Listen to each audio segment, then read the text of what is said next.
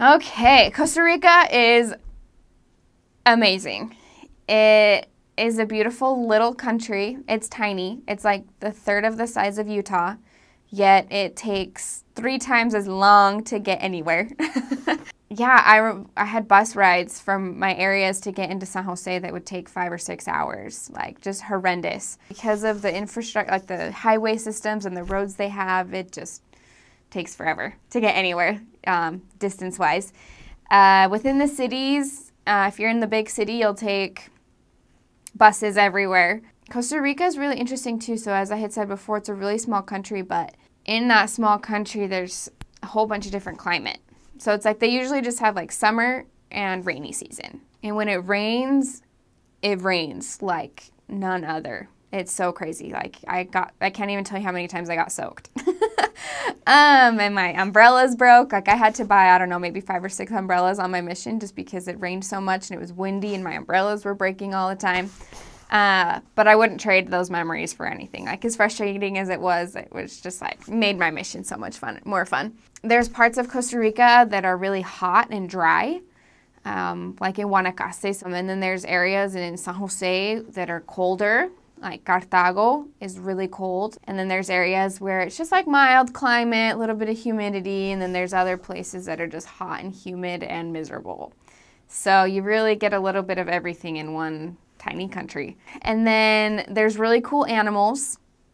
Um, depending on where you're at in the country, uh, you may see a sloth, which is really hard to come by. There's beautiful birds, crocodiles, iguanas, I mean, these there's there's a lot of exotic animals. It just really depends on where you're at as to whether you're gonna see them or not. Food is good. It's not spicy, which sometimes I disliked because I love spicy food, and a lot of their food is just very just like natural flavors. They don't add a lot of spice to their things, um, but you will eat rice and beans every day. and they have something that's called pinto, which is like their own version of a mixed rice and beans. Um, and they eat lots of salsa Lizano, which is also really good. They put that into their pinto. Um, and natilla. Natilla is huge. It's like a staple for them. It's like their version of sour cream. Basically, you'll eat just a lot of uh, what's called casadas, and it's just a plate of like the rice and beans or pinto, fried plantains, plátanos, and then like some sort of meat, usually like chicken or pork and then like a little side salad. And their salads consist of tomato and cucumber or cabbage. and everything has um, lime and salt on it. Everything, all the time. Uh, another great thing is they always make fresh juices uh, out of the fruit there, which is so great. I loved it, and I, that's something I miss immensely about Costa Rica is having fresh juice every day. Um, the tropical fruits down there are amazing. I had mentioned pinto, that's a huge food they will eat breakfast, lunch, and dinner. Like, that is the food you will eat for your time in Costa Rica. They don't have a ton of typical meals, um, but something that is typical of there is something called chifrijo, which is rice, white rice, and then either black or pinto beans, but it's a little bit more soupy. They leave the liquid in it. And then they top it with um, chicharron, which is fried pork skin and avocado and pico, and you eat it with tortilla chips.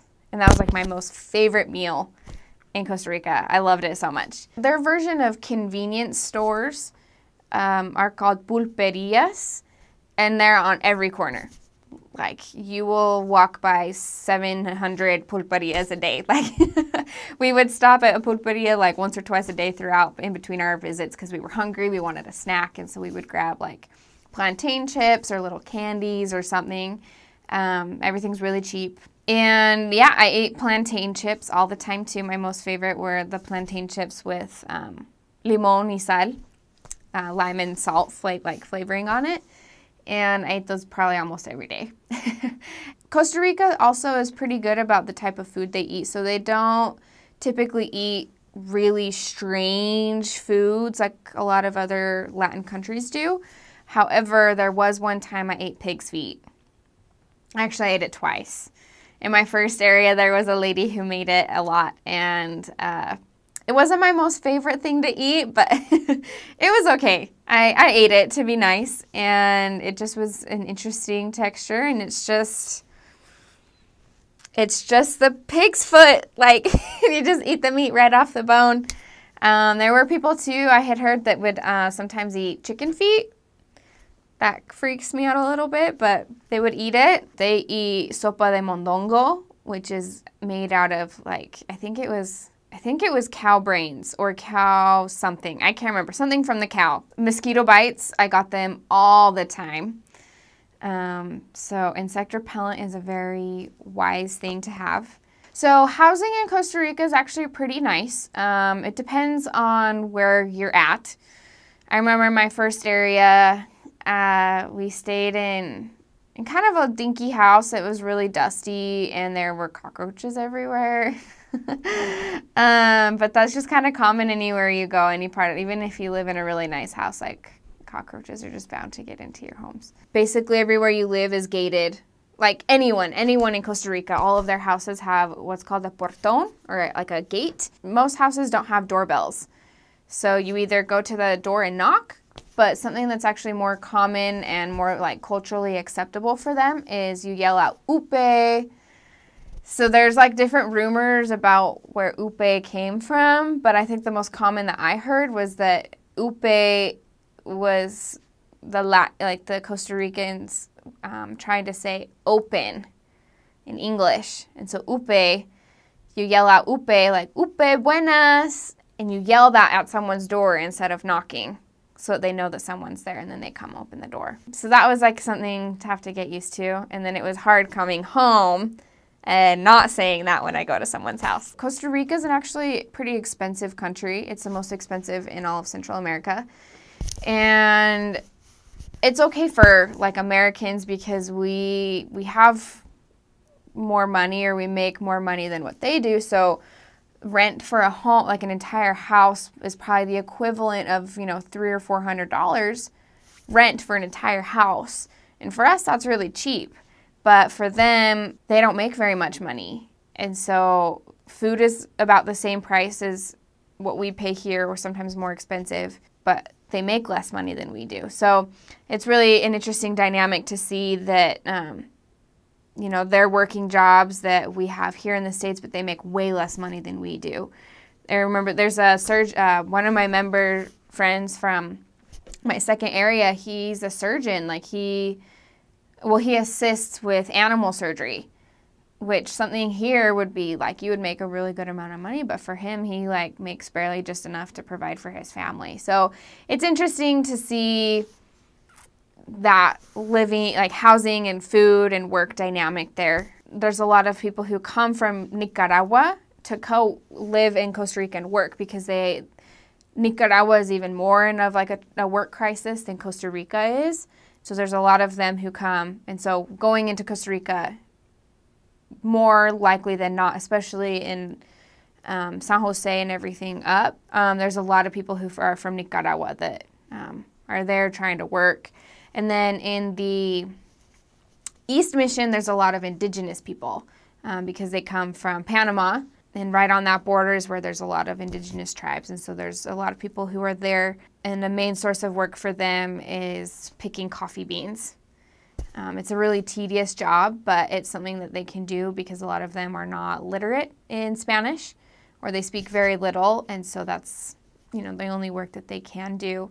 Um, so they are like working in the fields or getting coffee beans. Coffee is a huge thing in Costa Rica, like huge. Oh yeah, so Costa Rica is a pretty safe country, um, safer than most in Central America. There, I mean, you do have to have precaution. There are you know, some dangerous parts, but um, generally speaking, Costa Rica is very safe. Places to go, things to do. Costa Rica is known for its beaches. There's volcanoes, there's some like other national parks or hikes that are really beautiful um, you can go on. Again, just depending on what part of Costa Rica you're in, is what locals do. In San Jose, there's more like museums and um, like little theme parks for kids. And then as you get further out into the other areas, there's more natural things you can go do. So go see the volcanoes or go on a hike. But anywhere you go, there's there's always something fun or something beautiful to go see. All of my companions seem to have a fear of something. So my first companion was afraid of dogs. My next one, cats. The next one, bugs. The next one, I can't remember. So they, and then my last companion was afraid of frogs, and there were frogs all over my last area. Like, and especially at night, you would hear them croaking, and she hated it. Like, would jump and scream and hold on to me because she just hated them. So we're getting home one night, and there is a frog sitting outside our door, like our house door, and she just screams. And she's like, Hermana, like, I'm not going inside. I won't. Like, I can't. I'm like, we have to go inside. Like, it's time for us to be home. And she's like, I'm not going. It's like, I can't. I won't. Like, I can't do it. Because it was sitting, like, right, like, the door and just, like, right there. And so we lived next to the elders. We call the elders, like, where are you? And they were coming and they were, she, we were like, we need your help. We need to get rid of this frog. How the house was set up was there was a, it was like an apartment building. So it was the door and then we had to walk upstairs and then the actual door to get into our apartment. Um, but it was like a private door. No one else could get in there. So the they, the elders were actually with the branch president, and so he was there with that. He took them home, and um, they're helping us get rid of this frog.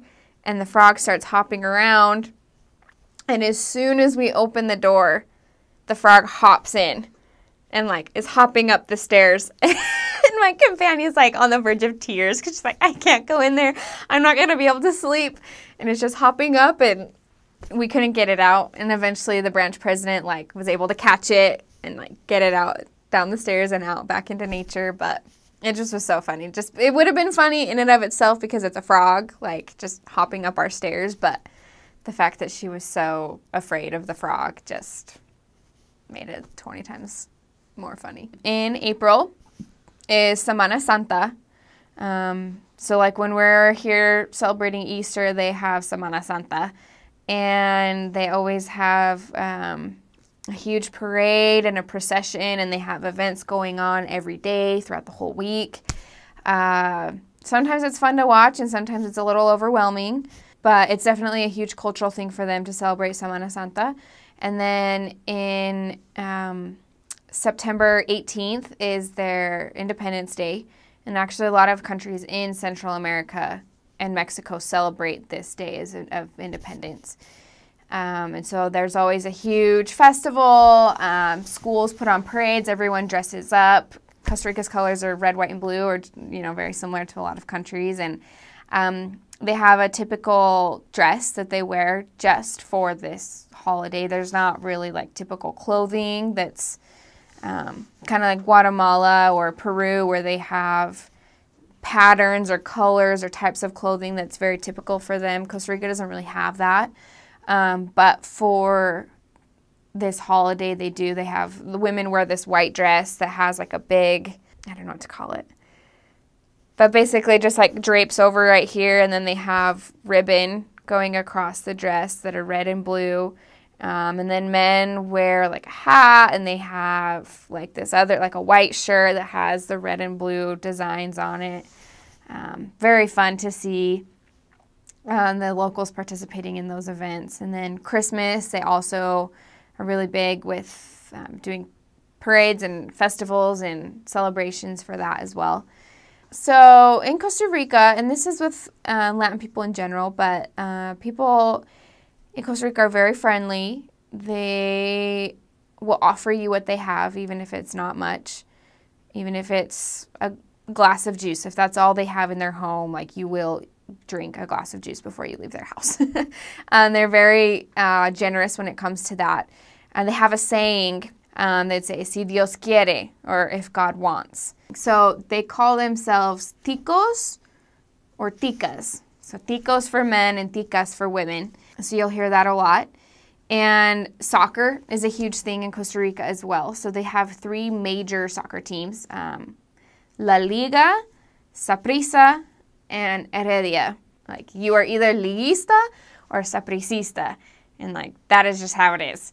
Um, so you'll hear a lot of that in Costa Rica as well very straight up people. So if there's something you don't like or something that's bothering you, or if they feed you something and you don't like it or you can't eat it for whatever reason, like be polite about it, but just tell them like, "Hey, I can't eat this," or you know, I don't really like this. They just they prefer honesty instead of you, you trying to beat around the bush, which is sometimes really hard because we do that a lot here. The Latin culture is giving kisses on the cheek, and then you also when you enter a home or when you leave a home, you have to greet and say goodbye to every single person. So it may take you an additional five minutes to leave the house, um, but just that's how it is. You culturally acceptable and expected to go and say goodbye to every single person. Or when you get to a house, you know, give them a, a, kiss on the cheek or shake their hand and do that to every single person as you get there, and then do it again to every single person as you leave the house. And if you don't, they understand because it is a cultural thing, but because you are there and you're living there and want to be respectful of their culture, it's something important for you to do. So, Spanish in Costa Rica is actually really good. Um, generally speaking, they speak very clearly. Um, and some speak quicker than others, but I mean that's kind of how you you are anywhere you go. So there are some words that Costa Rica uses um, that are just you know words. So for cool, they say the word tuanis. It's like, ay, que tuanis, meaning like, oh, how cool. Their word for dude is mae. They spell it M A E. ¿Qué tal, mae? And they don't all speak like this, but you'll find the rare tico that does. So normally in Spanish with like the double R, you roll it, like carro, but or tres, like they have that little bit of roll to the R. Um, there's some of them that say it like a hard R, like we do in English. So they'll say carro or trace or um, I, I, don't know. Yeah. So they, they, they use that hard R, which is like throws you off because you're learning that you have to roll the R. And then all of a sudden you hear this tico or tica like say an R like an American. And it, it just is, it's really weird to hear that. So they have this other, I wouldn't call it like a dialect, but like all of the young people, like los jóvenes, they speak what they call pachuco.